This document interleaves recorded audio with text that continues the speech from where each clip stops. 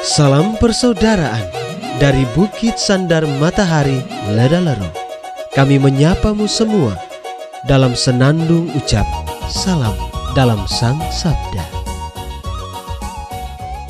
Bacaan Injil dan Renungan hari ini edisi 29 Desember 2021 Rabu Hari kelima dalam oktav Natal Disusun oleh Frater Ernst Ola SPD dan dibawakan oleh Frater Alex Hatang SPD Selamat mendengar.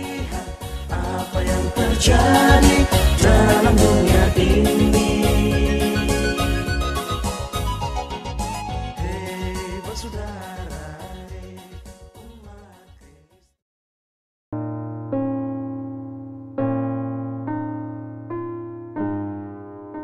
Bacaan diambil dari Injil Lukas bab 2 ayat 22 sampai 35. Dan ketika genap waktu pentakhiran menurut hukum Taurat Musa, mereka membawa dia ke Yerusalem untuk menyerahkannya kepada Tuhan. Seperti ada tertulis dalam hukum Tuhan, semua anak laki-laki sulung harus dikuduskan bagi Allah dan untuk mempersembahkan korban menurut apa yang difirmankan dalam hukum Tuhan, yaitu sepasang burung tekukur atau dua ekor anak burung merpati. Adakah di Yerusalem seorang bernama Simeon? Ia seorang yang benar dan saleh yang menantikan penghiburan bagi Israel. Roh Kudus ada di atasnya dan kepadanya telah dinyatakan oleh Roh Kudus bahwa ia tidak akan mati sebelum ia melihat Mesias yaitu dia yang diurapi Tuhan. Ia datang ke bait Allah oleh Roh Kudus. Ketika Yesus anak itu dibawa masuk oleh orang tuanya untuk melakukan kepadanya apa yang ditentukan hukum Taurat, ia menyambut anak itu dan menatangnya sambil memuji Allah. Katanya, "Sekarang Tuhan, biarkanlah hambamu ini pergi dalam damai sejahtera sesuai dengan firman-Mu, sebab mataku telah melihat keselamatan yang daripadamu, yang telah Engkau sediakan di hadapan segala bangsa, yaitu terang yang menjadi pernyataan bagi bangsa-bangsa lain dan menjadi kemuliaan bagi umatmu Israel. Dan bapa serta ibunya amat heran akan segala apa yang dikatakan tentang dia. Lalu Simeon memberkati mereka dan berkata kepada Maria, Sesungguhnya anak ini ditentukan untuk menjatuhkan atau membangkitkan banyak orang di Israel dan untuk menjadi suatu tanda yang menimbulkan perbantahan dan suatu pedang akan menembus jiwamu sendiri supaya menjadi nyata pikiran hati banyak orang. Demikianlah Injil Tuhan. Terpujilah Kristus.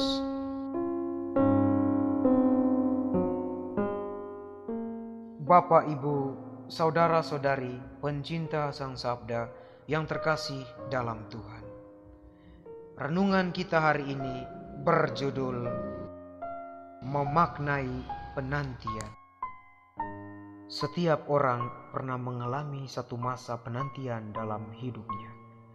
Menanti pengumuman kelulusan PNS, menanti waktu kesuksesan, menanti datangnya jodoh, menanti tawaran kerja, dan lain-lain. Dalam penantian, waktu satu menit terasa seperti seabad lamanya. Ketika menanti, biasanya seorang akan disuguhkan lebih kurang dua pilihan dilematis, tetap menanti atau pergi. Kebanyakan orang cenderung memilih alternatif kedua untuk beralih atau sekadar terhindar dari penantian, lebih-lebih penantian tanpa kepastian. Adalah Simeon, salah satu nabi perjanjian lama yang ditampilkan dalam kisah Lukas hari ini. Ia tengah berada dalam penantian akan penggenapan janji Tuhan. Penantian Simeon adalah penantian seluruh waktu hidupnya. Ia menanti hingga masa senja menjelang kematiannya. Masa-masa penantian Simeon tidak dijelaskan secara terperinci dalam teks kitab suci. Namun yang pasti ialah bahwa Simeon mewarnai masa penantiannya dengan semangat kesalehan dan kesetiaan. Ia yakin di dalam Tuhan, penantiannya tidak akan kehilangan makna dan sia-sia. Pada akhirnya, penantian panjang Simeon beroleh hasil. Ia berjumpa dengan kanak-kanak Yesus sebelum meninggal dan sambil menatangnya dalam tangan, ia bersorak memuliakan Tuhan sebab matanya telah melihat keselamatan. Setiap orang beriman tentu punya harapan di balik penantian. Momen penantian yang baru dirayakan sejatinya adalah jawaban atas penantian kita. Allah mengambil inisiatif untuk berinkarnasi menjadi manusia. Dengan begitu, Allah solider dan memberi makna pada seluruh pengalaman manusiawi kita.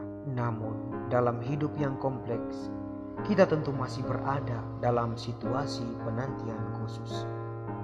Ada yang menanti kesuksesan, ada yang menanti kelulusan, ada yang menanti berakhirnya masa studi, ada yang menanti kepastian dalam relasi percintaan, dan lain-lain.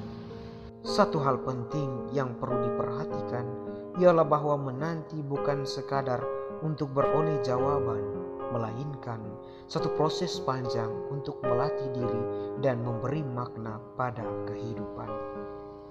Dengan begitu, penantian kita bukan hanya sekadar kegetiran dan kegelisahan yang sia-sia. Penantian kita adalah proses internalisasi nilai-nilai hidup dan pembenahan diri secara berkelanjutan. Seperti halnya Simeon tetap merawat kesalehan dalam proses penggenapan janji Tuhan, kita pun dituntut untuk meningkatkan disiplin-disiplin hidup yang baik dalam menanti. Semoga Allah merahmati seluruh proses penggenapan harapan-harapan kita melalui kelahiran Yesus Kristus. Ya Tuhan, semoga dengan tindakan Simeon, kami anak-anakmu menjadi percaya dan yakin akan janji-janji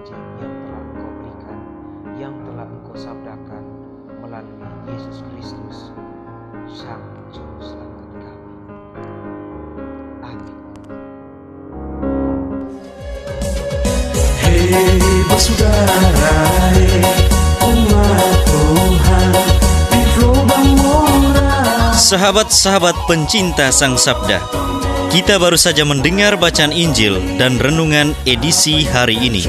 Sampai jumpa kembali pada edisi berikut. Terima kasih kepada Divisi Kerohanian website Seminari Tinggi Santo Paulus Ledalero. Semoga Sang Sabda menjiwai seluruh pengalaman hidup kita hari ini. Tuhan memberkati kita sekalian. Amin. dalam satu hati di dalam kasih Yesus. Mari dengarkan sapaan sabda dari komunitas Seminari Tinggi Santo Paulus Ledalero setiap hari Senin sampai dengan Sabtu di